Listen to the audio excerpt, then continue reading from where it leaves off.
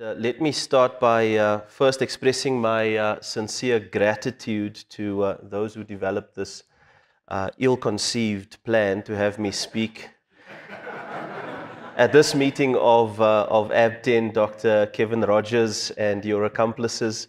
Um, I, I, appreciate the risk you have taken and thank you. Thank you immensely for the anxieties you bring into my life. So don't hang around those folks if you have issues with anxiety, okay? But I must also acknowledge my, my mentors, my colleagues and friends from Cape Town Baptist Seminary. In, in many ways, you, you gentlemen um, are, um, or I am at least, an example of what I'm being asked to present here, and that is theological institutions doing missions. And uh, I, I don't believe that I would have taken the steps with my family and taken the risks with my family if I had not first seen them uh, among you. And so I want to thank you each for bearing in, in, in your bodies the sufferings that are lacking in Christ's.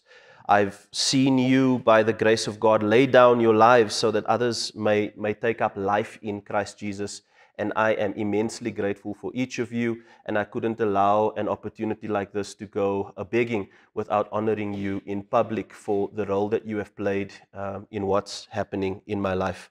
Uh, whether I'm anxious about it or not, that doesn't matter. I'm grateful nonetheless. Much of what I have to share here with you today has already been touched on in various aspects.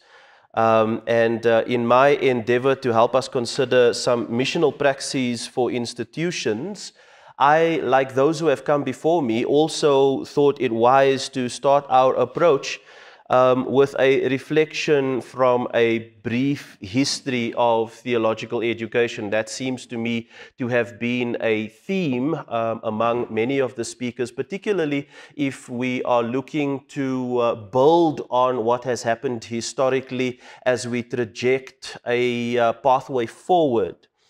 The history of theological education is something I'm going to refer to for different reasons, though. We do want to, like we are advised by uh, Gonzalez and Rowdon and all of the rest of those who have attempted this, um, that, uh, that this is something that is necessary um, as we consider uh, the history of theological education, at least for a few grounds. It has value in our pursuit after a theological education as missional praxis by allowing greater awareness and appreciation for how theological education has uh, evolved over time. And importantly, the factors that have influenced its development. And this, in turn, I'm hoping may facilitate the identification of patterns and trends that assist in critically evaluating theological education philosophies, methodologies, and praxis, uh, both past and present, toward a more intentional uh, missional praxis for theological education of the future. And so I'm going to start where everyone else has, and that's uh, with, the, with the early church.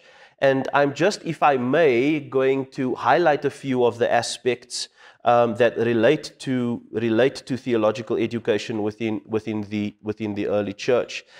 Jack, Jackson argues that Christian theological education was um, by the, the transmission by new Christian converts. The seminary education for the first disciples uh, included personal interaction with the Lord over a period of three years, and uh, subsequently, new con- converts would sit under the teaching of these trained in person by Christ.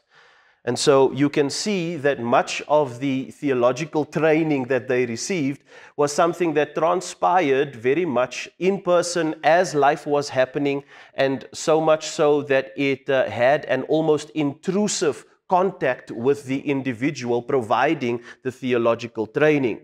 You will notice then that as we move uh, a little further from the early church, you will see a distance being created between this, what we would describe as costly discipleship, this almost intrusive contact with those who are being discipled for Christian leadership, um, away um, as we move away from, from, from the early church. Now, this lack of formality in the early church, this lack of formal education, or what we have come to know as formal education, should not be read as being devoid of cognitive and academic rigor. Uh, regarding those discipled by Christ as purely practical ministry expertise, in my view, would be a mistake. I think any superficial reading of the New Testament would lead us to conclude that the individuals described there, and certainly those who have contributed to the New Testament, show an argumentative and rhetorical prowess second to none in our day and in our time. I do not buy the sentiment that what was happening in New Testament times was purely practical theological training, I would argue that it had academic or cognitive rigor in its time. Yes, Jesus may have found the disciples, and they may have been described as unlearned in that they have not been subjected to some of the formal requirements of tuition in the day and in the time. But I would argue Jesus didn't leave them unlearned. They were instead highly qualified and could go toe to toe with the best of us. Even a Christian woman in that time could go toe to toe with the best of them, as is described by Priscilla and Aquila's engagement with Apollos. Here we see an example of argumentation, rigorous debate, and persuasion taking place, which I think is something that requires some cognitive acumen. If you look at Luke, I'm sure you will agree with me that this is one of the best representations of a, uh, the, a, a, a, a, historical work that you will likely see in, in, in antiquity there's probably not going to be an example from antiquity that rivals what Luke was able to do in his orderly account of what had transpired in the Gospel of Luke, and then following that up with the Acts of the Apostles that is just expertly written, and that even historians to this day, secular historians to this day, regard as a vital work for understanding the life and times with, uh, within the, the early church. We are still studying the works of Paul, and even Peter says that he speaks dark sayings. And I would suggest that, uh, that such an engagement or such a work or such prowess from the apostle suggests that there was in that day and in that time um, at least academic and at least cognitive rigor um, that, uh, that can contest some of what we would describe as our most rigorous academic institutions in our day. Stephen could not be resisted in his argumentation, and they had to kill him. There was no winning an argument with this man. He was so empowered by the Holy Spirit and so capable of uh, presenting the gospel and arguing for Christ as, as Lord and as Savior, the Messiah that should come, that the only alternative was to kill the man. And even Christ, our Lord and our Savior, said to us that we must love the Lord with all of our heart, with all of our soul, with all of our mind, and all of our strength. And so I resist the notion that the early church was purely practical in its outlook um, and do not view it as a valid argument for purely practical training as we project a future for uh, missiological praxis. Um, for us as institutions. It is, in my view, not the way forward. The need then for more formal training seems to have been borne in on the church during the course of the second century, based on the growing self consciousness of a church locked in debate with pagans and Jews on the one hand, and heretical schools of Gnostics on the other, undoubtedly calling for systematic and concentrated mental discipline on the part of those who would undertake leadership. And an example of this would be the Catechetical School of Alexandria, founded by Bishop Demetrius, where uh, Origen eventually assumed leadership before leaving for Caesarea. Um, and, and this, I would argue, is, is a prime example. To assume then that this move towards a more catechetical school where there are more defined disciplines of academic rigor, that it lacked anything of a practical nature and that there was a pendulum swing from uh, what would be this informal training all the way to a more formalized uh, methodology would also be a mistake. Origen is claimed to have transformed his disciples still more by his personal influence than by his scholarship. He was not a lecturer who merely appeared from time to time before an audience. He was a master and tutor who lived constantly with his disciples.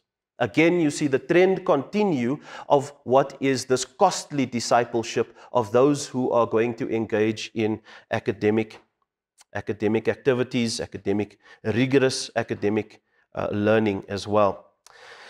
So, in brief, then, the, the medieval and Middle Ages, for reasons that go beyond the scope of our inquiry, began to seek refuge in monasteries, and part of what contributed to this was uh, the incessant wars and the incessant raids um, that were taking place uh, at the time and began to move uh, towards prominent centers of learning and were already moving toward scholasticism as early as Basil of Caesarea and the Cappadocian Fathers in the fourth century.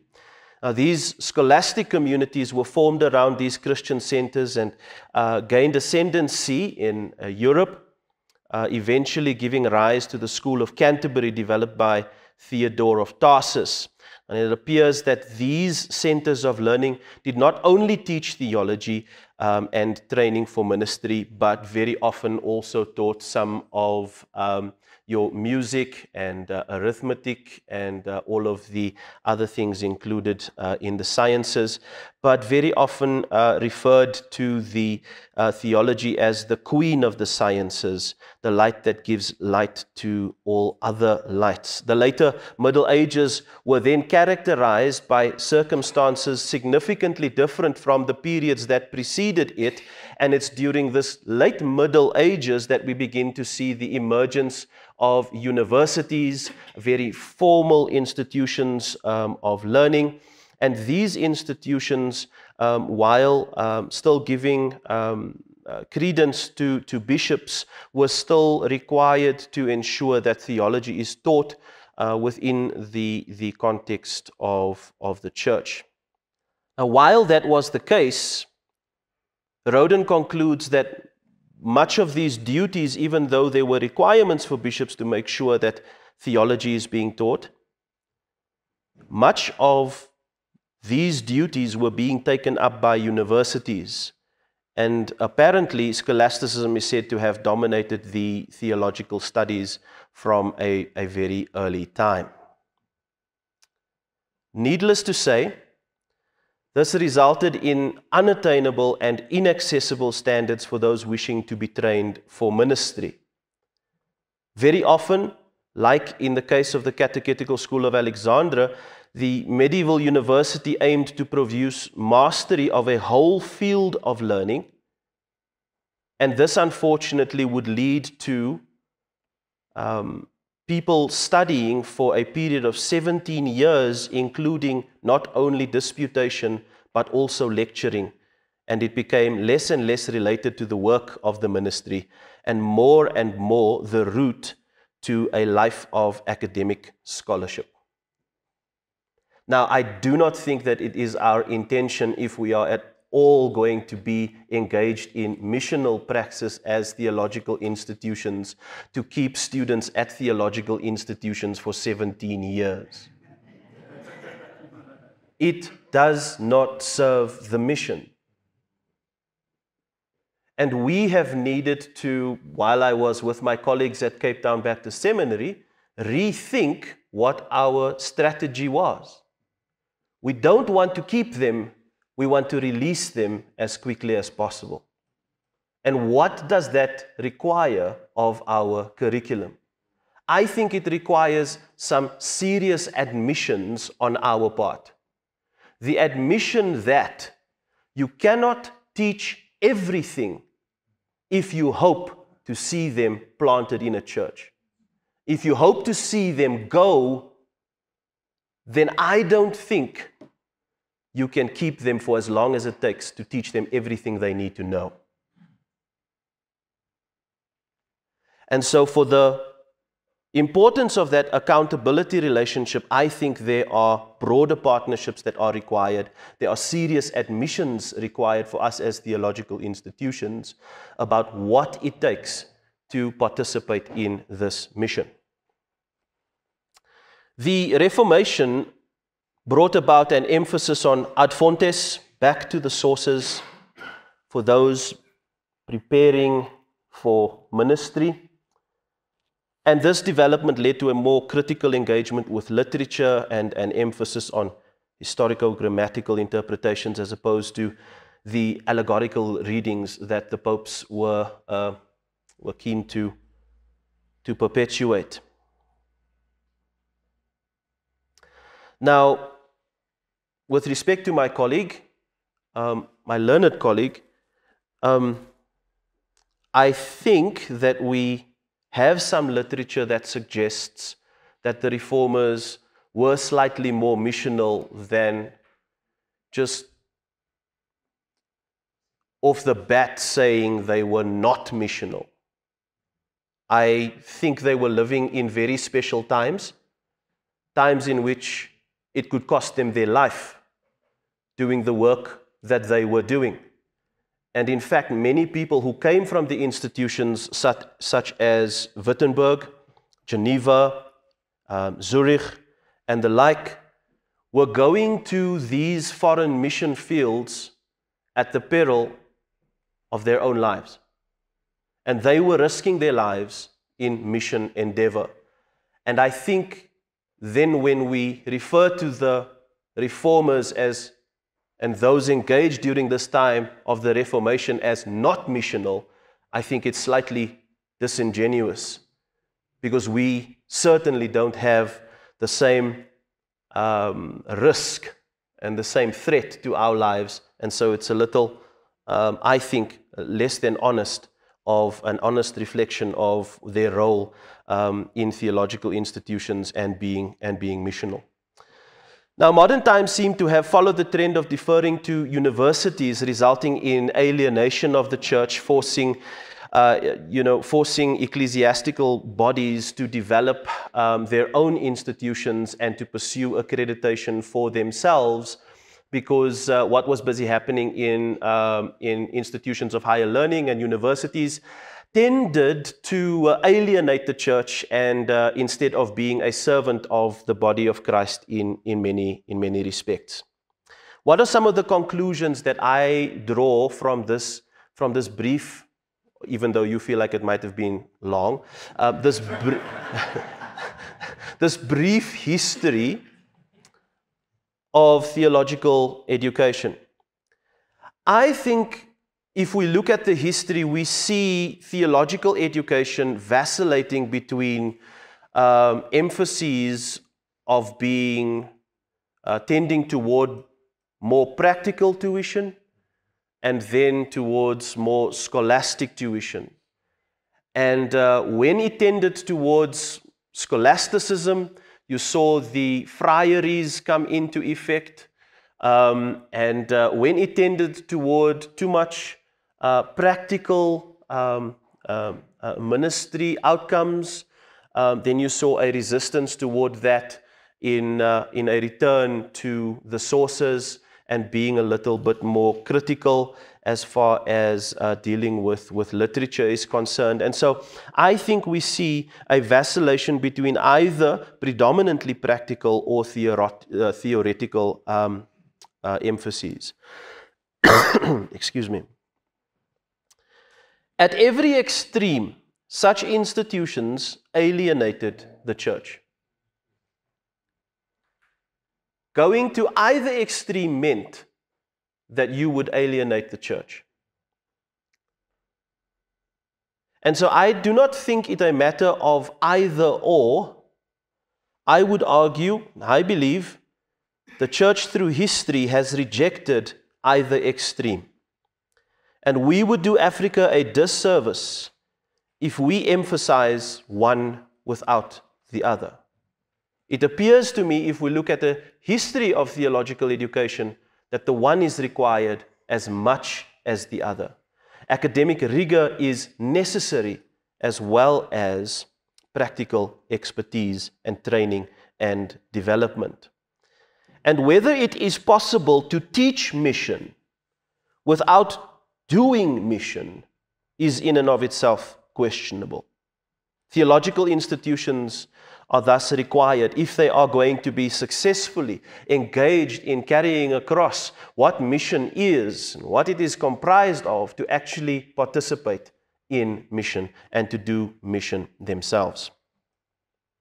So, this then brings me to what some of the contemporary challenges are in the light um, of what has taken place um, historically in theological education. You will have noticed, as I suggested earlier, that there was this move away from this uh, very costly discipleship, this very costly and almost intrusive development of those leaders who would then disciple other leaders, toward a more professionalized, toward a more, um, you know, removed or at a distance uh, tuition. And we find ourselves then at a impasse because while we see that there is this decreasing pool of resources and an ever increasing need for training, the temptation is to defer to diversified models that do not facilitate costly discipleship. So it is then a matter of just providing the theoretical information that people need without necessarily delving into what is necessary for the holistic formation of people who would go on to disciple other persons. And so when we look at um, our models as institutions, we need to revisit whether or not such models are actually perpetuating um, this notion of of uh, a discipleship that only requires theoretical engagement or that only requires that you know certain things cognitively instead of that you get to see, that you get to practice, that you get to walk alongside someone who is actually living that out. And so, as an institution, as a guiding principle, then we would like to see that contact in some way or the other is emphasized. And at Cape Town Baptist Seminary, while uh, Cape Town Baptist Seminary was one of the institutions that started delving into hybrid theological training, there was never a reduction in the emphasis that we value contact with the people that we are discipling. And so when we use diversified models, there's nothing I think that is wrong with that. I think it is useful for the theoretical components. But how do we facilitate some of the elements that can only be conveyed when they have contact with people who are walking with the Lord Jesus Christ and people who are disciples of the Lord Jesus Christ? And one of the ways in which that transpires is to make sure, as much as is possible, that as an institution you have contact with the church. And that you make sure that those who are wishing to study with you also are embedded in the body of Christ, are embedded in the church. This is going to be essential for their holistic development. This is going to be essential for whether or not they are going to be discipled beyond only theoretical and, um, and cognitive prowess. So, not only then do I think it's essential that we make sure that these students have contact, contact with the church, because it's questionable whether or not they can train and adequately prepare for ministry in the church if they do not have contact with that church or with the body of Christ. They must also have contact with their peers and they must have contact with their curators as well. And so, that then has been one of the guiding principles that I would like to suggest is something that we need to consider seriously about diversified models is does it actually rob such a student of uh, the privilege of walking alongside someone and seeing the intended uh, curriculum walked out now, this language of intentional and unintentional curriculum shouldn't be one that actually exists in theological institutions. I think everything should be intentional. The stuff that we know are rather caught than taught is something that we must intentionally plan for and intentionally build into our curriculum. And so when you have a curriculum review, are you only reviewing the curriculum from the standpoint of what the uh, theories are or what the uh, theoretical content, content is that uh, these students are going to be participating in? Or are you actually seriously talking and thinking about um, how you are going to facilitate contact and uh, ensure that we are in touch with these training for, for ministry? I think the mission is impaired. I think we cannot then do, um, or as theological institutions, do missions or teach missions if we don't, if we don't do missions um, in, in, in that way as well.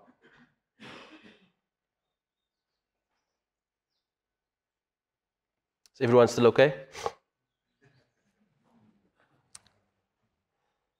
I'm not. Thank you. Furthermore, I think I think there's a tendency to build what I regard as false dichotomies between and and Dr. Lawless mentioned this just a few moments ago between between what's the church's responsibility and what's the seminary's responsibility. We like to say that discipleship is the task of the church. Theological institutions are organs of that organism, the church. And when we are constantly debating whether or not this is something that belongs in our sphere or that sphere, what ends up happening is these individuals are not discipled.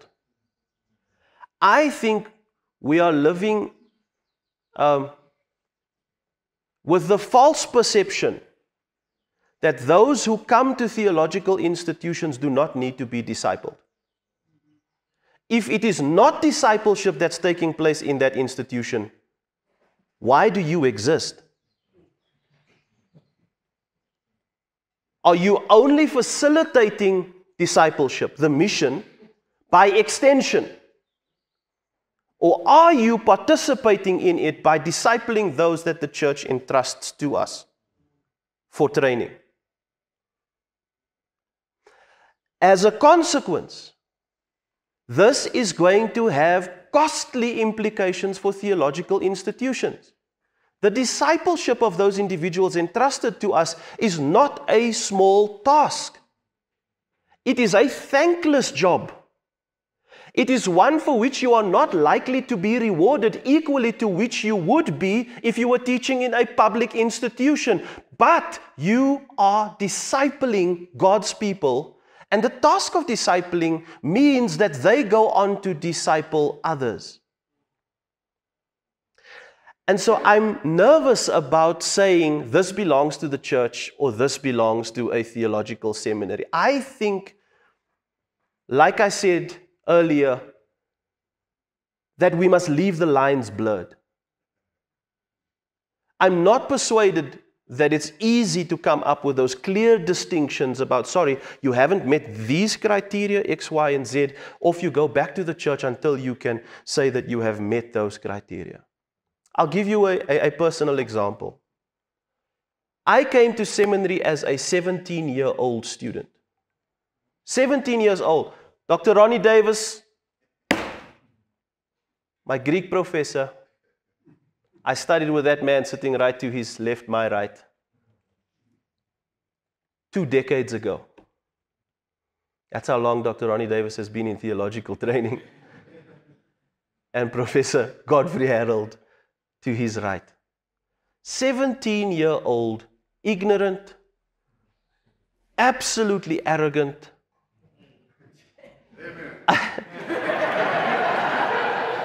I do have a witness. utterly, utterly ignorant. I hadn't cut my teeth on church leadership. All I know is I was in school sharing the gospel with someone, and, and they expressed faith in the Lord Jesus Christ, and it seemed to me as if though light had come into this person that I cannot describe, and I realized I would not do anything else with my life Gone with being a medical professional, gone with being an engineer, gone with putting bread on the table of my family, knowing that we're going hungry. I'm the eldest son in a poor family. I must provide for my household. But I came to seminary.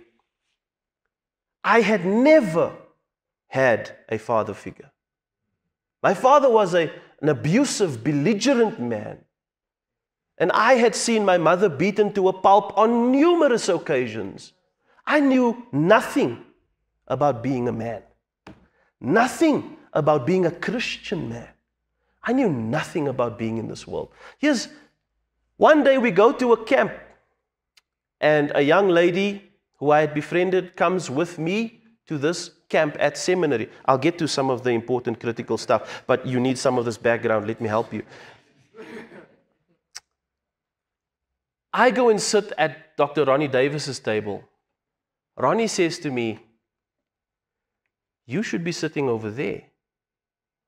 She came here with you. How are you sitting here? I don't know if he remembers it. But this was for me one of the first examples where something as basic as courtesy, a guy befriending a young lady, Something as basic as that had to be taught to me by an American coming from who knows where. Texas. Today, I'm having conversations with you about how theological institutions can be more missional. Only because God had given me the privilege of sitting with those guys. Contact. Contact.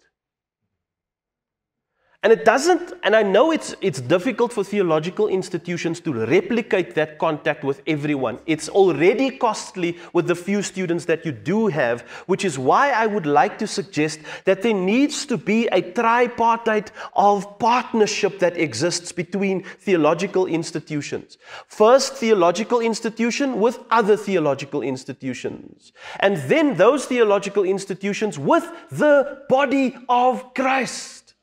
Because that is where these people are going to be discipled. That is where these leaders who must disciple other leaders, this is where you can see them formed. Now, the thing about this discipleship that is so costly is because we seem to think that everyone who comes to us does not need to be discipled. They're coming for training for ministry. And yet, in order for them to be missional, someone needs to hold them accountable. Discipleship has as one of its key tenets accountability. And if all they are is someone receiving theoretical content at a distance, who is holding them accountable for now using that? And how are they proclaiming the gospel? And when are they proclaiming the gospel, if at all? Now, I must hurry. I've said quite a few things, and much of that has been, has been some rambling, and I'm, and I'm not sure that Dr. Bledsoe has any idea where I am.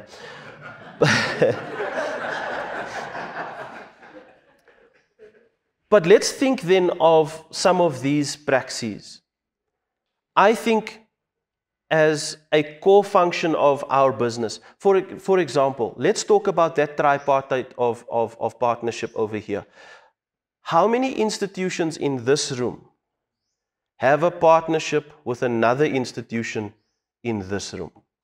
Please put your hands up.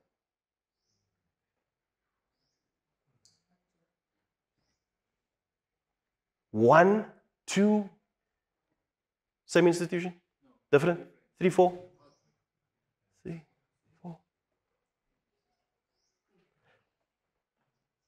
The sound you are hearing is the sound of African partnership.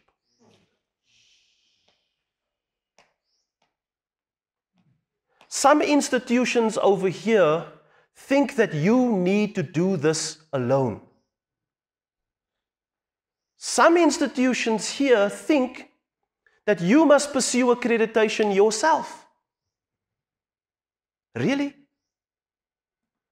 If you want to be missional wherever you are, let me tell you right now that there are institutions in this room who are offering theological training that you can offer exactly where you are and see your individuals or, or, those trained with you developed so that eventually they become the academics in your institution.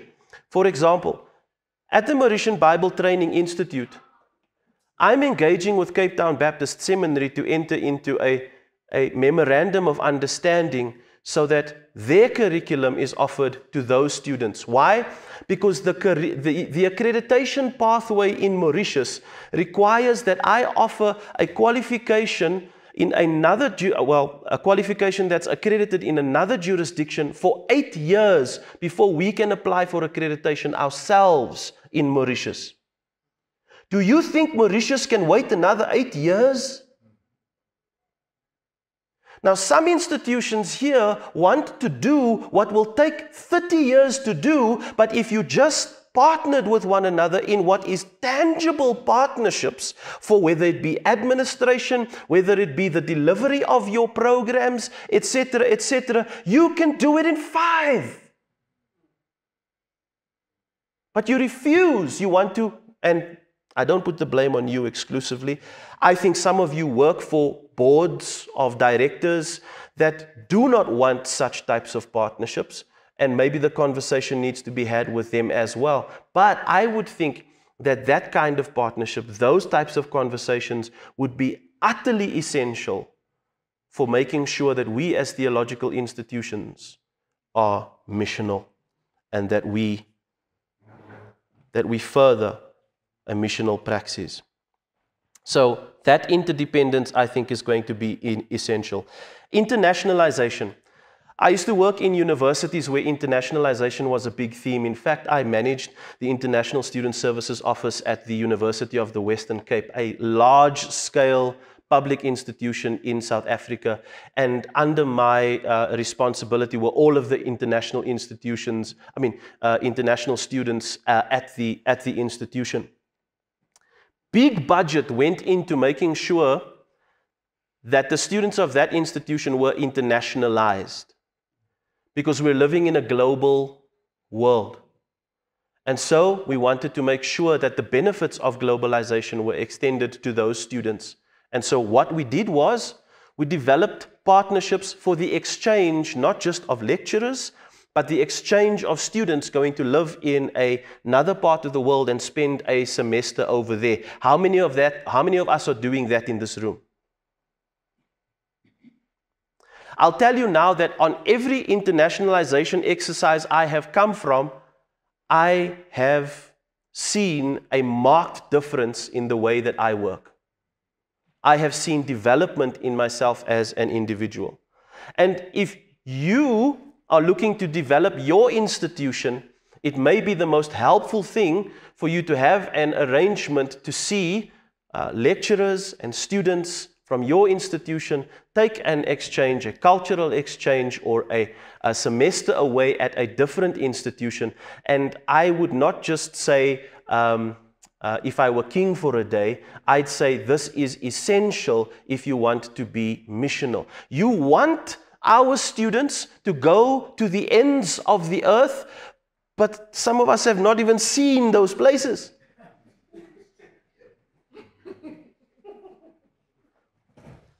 Now, I, I say this because I think there are some real tangible benefits that come from seeing a lecturer developed from going to uh, from a school that uh, doesn't have much resources to a school that has much more resources and seeing how their administration works seeing how they develop curriculum seeing how they deliver curriculum seeing all of those things and then after a while going back to your institution and starting to look at you you will just see things differently. So internationalization exchanges i think are going to be essential for us doing those sorts of things. And then Many colleagues have mentioned so many aspects of, uh, of, uh, of some of these praxis. For example, uh, Mission Week, something I've been exposed to at uh, Cape Town Baptist Seminary for the first time in, in, in, in my life um, when they sent me on mission to, to Pollsmoor Prison in, um, well, that wasn't the, the only time. They've sent me on missions elsewhere. They didn't only send me to prison. Um, but they sent me all over the show. But I was exposed to mission for the very first time at the theological institution that I was at. And our lecturers used to come with us to those uh, occasions. And senior students used to participate with junior students. And there's this transferal, there's this learning, there's this discipleship that's busy taking place, um, irrespective um, of, of where you are doing it. So I don't think that I'm going to belabor the praxis any further, except to suggest that if we as institutions want to be missional, I think that we need to start thinking seriously about the potential that exists for partnership and how those partnerships can help us develop missional praxis for us as institutions so that we don't only teach mission, but also do mission. Thank you.